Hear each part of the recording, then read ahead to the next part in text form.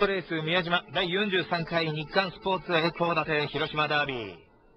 開催5日目の攻防はいよいよ最終12レース最後の準優勝戦を迎えました。対戦メンバーです。1号艇辻映像、2号艇井内正太郎、3号艇島川光夫、4号艇池本照明、5号艇佐々木秀樹、6号艇奥田誠。以上6選手の対戦です。定段から離れているのは6号艇奥田。残り5艇も枠なりでホーム側へ移ります。インコース人気の中心は1号艇辻映像。ここに来て乗り心地も良好で仕上がりはますます良好辻の陰線。2コース2号艇が井内正太郎。仕上がりはもう一息といったところでありますが、地元は連続輸出中。3コース3号艇島川光夫は全県さっぱりだった37号機を見事に蘇らせました。角位置が4コース4号艇池本照明、しっかりと調整合わせたいところ。5コース5号艇が佐々木秀樹、そして6コース6号艇奥田誠で枠なりの3対3。第12レース準優勝戦、進入はインコースから。1番、2番、3番、4番、5番、6番です。スタートしました。あまり差はありません。ほぼ横一線。しかし、これは早いスタートがあった模様。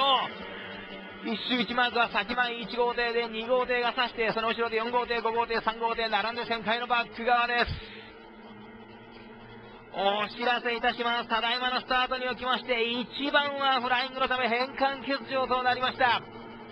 1番に関します投票権は全て返還されますので、どうぞ大切にお持ちください。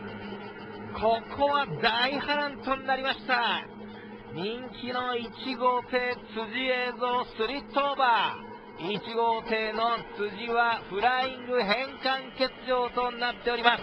1番に関する投票権どうぞ大切にお持ちください。残った5艇で今2周のバックストレッチ。先頭抜けたのは2号艇井内2番手に4号艇池本。3番手5号艇佐々木の2 4 5 2周2番からホーム側。井内、池本、佐々木の順で2番、4番、5番と上位3艇抜け出してレースは最終周回です。なお、このレースはスタートにおきまして1番、辻映像はフライングのため変換欠場です。1番に関する投票権はどうぞ皆様大切にお持ちください。上位を形成するのは2番、4番、5番でこれからラストターンマーク。